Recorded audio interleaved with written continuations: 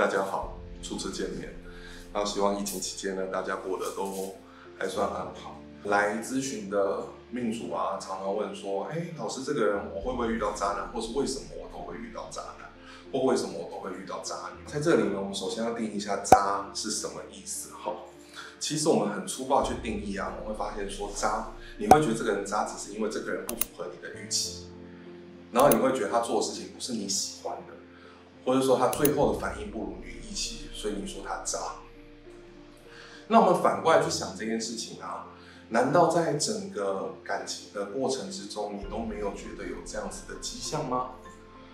其实往往是有的哈。那这个东西很科学的东西，因为我们希望我们是用比较科学角度去弄，所以我们先这里带入一个比较特殊的呃理论，心理学上面的理论去讲这件事情。它叫蔡尼迪克效应这样的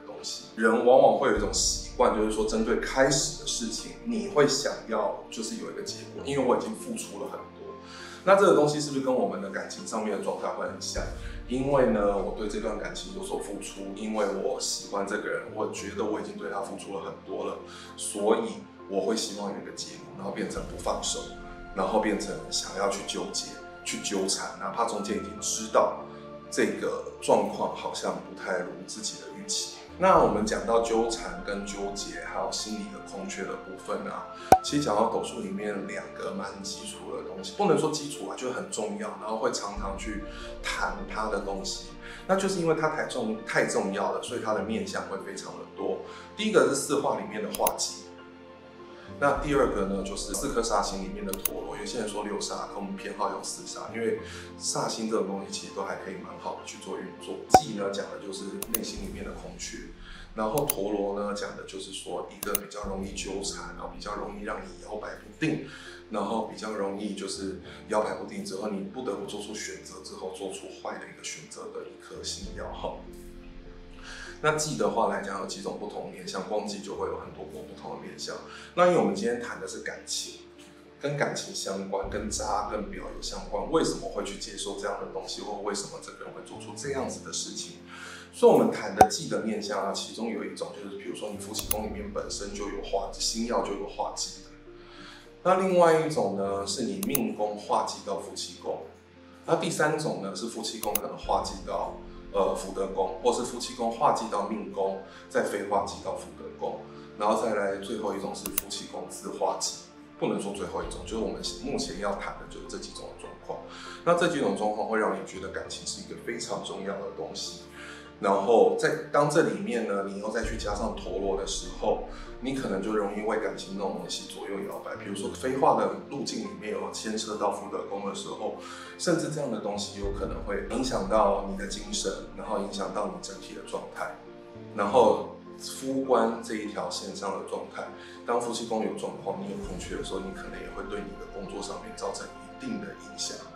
这是一种基本的概念。那当这样的星耀里面，它是其中一个基本的迹象哈。那当这个星耀迹象里面再结合入一些其他条件的时候，那往往我们就很容易在感情上面有比较纠结的状况。那这几个星耀是什么？首先我们讲过说属水的基本上都是桃花星。那举例来讲啊，像是天同、太阴、贪狼、巨门、天象跟破军，然后这些东西本来就是属水有桃花性质的东西。落入这样宫位组合的时候，我们本来就觉得说，呃，他比较小心要去提防这些桃花上面的风险跟纠纷。那另外也有几颗星耀，比如说廉贞，廉贞呢，它本来就是一种压抑自己的意思，好像是一个牢笼，把自己的欲望跟自己的魅力，在一个很好的去约束起来。当他遇到杀星或吉星的时候，他有可能就把这个牢笼打开，他的反应就是皮球压久了，自然它反弹就会比较大。那天机的话来讲，本来就有变动的意思。那当我们提到还有杀破狼的这种组合，然后其中还有七杀，它错了他也要一路错到底，是这样的状态哈。所以我们整理一下，比如说化忌的状态，然后还有非化忌的状态，相关的宫位，几个相关的宫位，比如说命宫、夫妻宫、福德宫有受到影响的时候，那我们讲说比较容易去遇到这样的状态。那你说这个渣跟表有什么关系？这个是我们站在自己的立场，我们去想说，我们的宫位组合里面有这种状况，我可能遇到渣男，或有可能遇到渣女。可你要知道一个状况，我们一开始就定义了，什么叫做渣？什么叫做婊？其实，在我们现今社会里面，其实大家大部分都是有选择的。所谓的渣跟婊，它变成是一种，呃，他做出的事情不如你的预期，你可能就会觉得他渣的状态。那为什么不如你的预期呢？就会我有我们刚刚前面说的这种状况，那就要了解一件事情是说，他同时你有可能是受害者，因为前面讲的漏光嘛，影响到你的工作，影响到你的人际关系，影响到你的精神层面。可是啊我们退一步来想，这其实也有很多是渣男渣女的一个基本的面相哈。为什么会是他们基本的面相呢？因为其实他们不足够了解自己，他们不知道自己要的是什么东西。所以呢，小绵羊同时也有可能是大野狼。我们刚刚其中举一个例子，当夫妻宫废话记录福德宫的时候，就是感情的状态让他非常。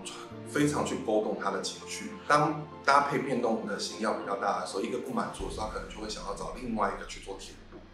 那这个状况的时候，当你是他的伴侣的时候，你自然就会觉得他是渣的。那反过来说，可是你在做这件事情当下，当你是当事人的时候，你其实只是在追求自己内心的欲望跟需求。